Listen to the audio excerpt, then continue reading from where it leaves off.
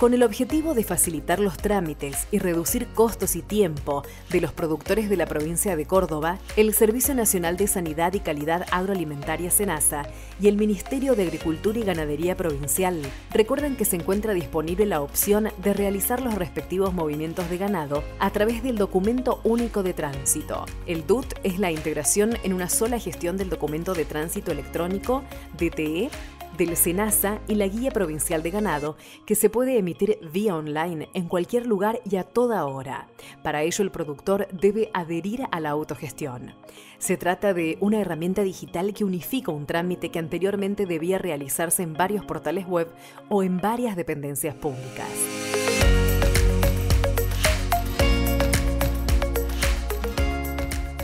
El SENASA continúa brindando todos los servicios para garantizar la continuidad de las exportaciones e importaciones de animales y material reproductivo.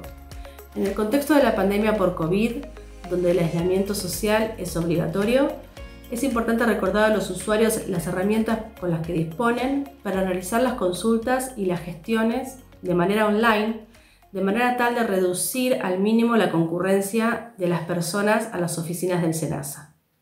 En la página web del SENASA se encuentra toda la información referida al comercio exterior animal. Por un lado, están los buscadores de certificados veterinarios de exportación, los requisitos sanitarios de importación y los acuerdos de importación.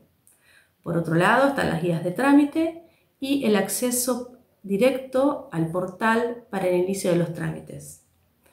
El inicio de los trámites a distancia permite a los usuarios completar los formularios de las solicitudes de autorización de importación y exportación y hacer el seguimiento de los mismos sin necesidad de acercarse a las oficinas del SENASA.